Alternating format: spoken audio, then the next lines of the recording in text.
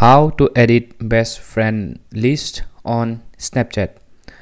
Now as you can see this is my snapchat and this is my best friend list. So right now i have only one best friend. So if you want to add multiple best friend so let me show you how you can do it how to edit this list and add multiple best friends. So just uh, select your friend you want to add as a best friend. For example i want to select this friend as a best friend. Tap here tap on the three dots. And from here we need to tap this pin as your number one bbf but the thing is that when you tap here it will ask you to try this snapchat plus. So this is not exactly free.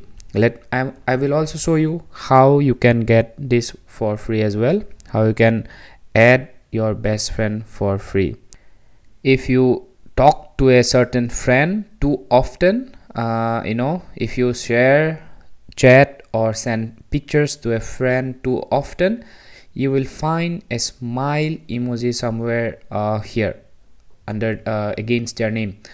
And you can add them as your best friend for absolutely free. So for example if i had a smile emoji here somewhere here I can add that friend on my best friend list for absolutely free. So this is how you basically add best friend edit your best friend list so on snapchat okay? Thanks for watching and have a great